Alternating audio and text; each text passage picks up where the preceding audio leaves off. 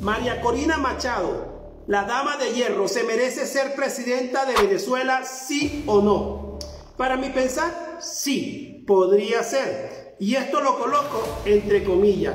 Luego les explico por qué. Pues en su propuesta más fuerte como precandidata es el libre comercio y tener un país cero socialismo.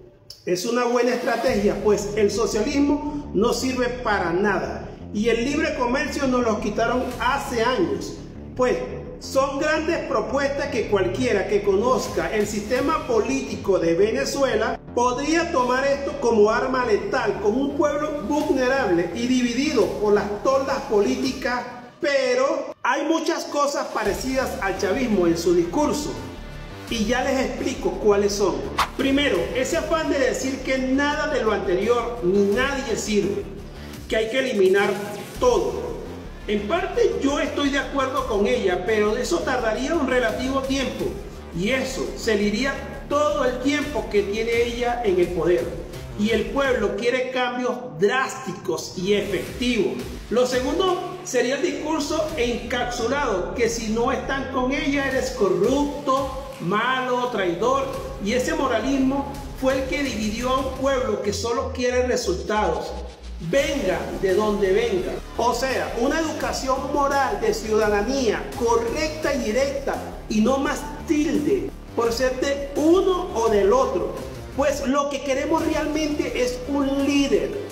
Y por último es que he escuchado en repetidos discursos de que yo soy el pueblo, ya esta es mi lucha, yo soy Venezuela. Un discurso que se escuchó por años por Chávez, por Maduro, y un pueblo que se dejó manipular y estar en un estado de zombie, manejando masa por el yoísmo.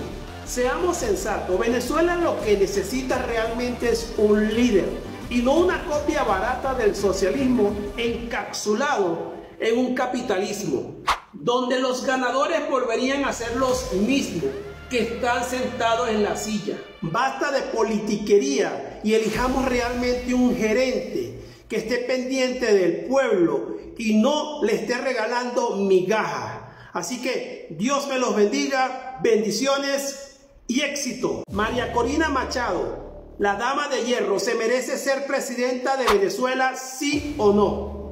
Para mi pensar, sí, podría ser. Y esto lo coloco entre comillas.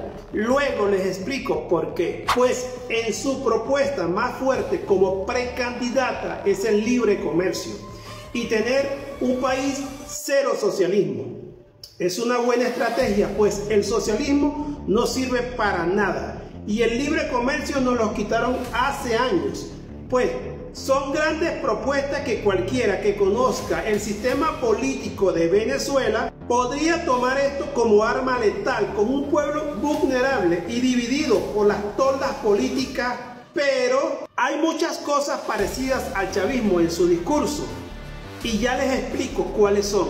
Primero, ese afán de decir que nada de lo anterior ni nadie sirve, que hay que eliminar todo. En parte yo estoy de acuerdo con ella, pero eso tardaría un relativo tiempo. Y eso se diría todo el tiempo que tiene ella en el poder.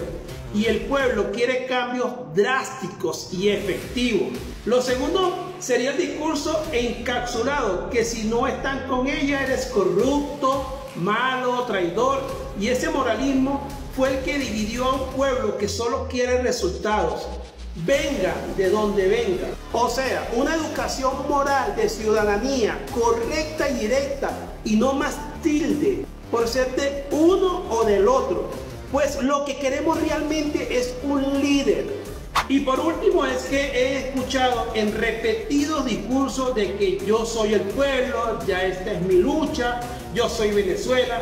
Un discurso que se escuchó por años por Chávez, por Maduro, y un pueblo que se dejó manipular y estar en un estado de zombie manejando masa por el yoísmo.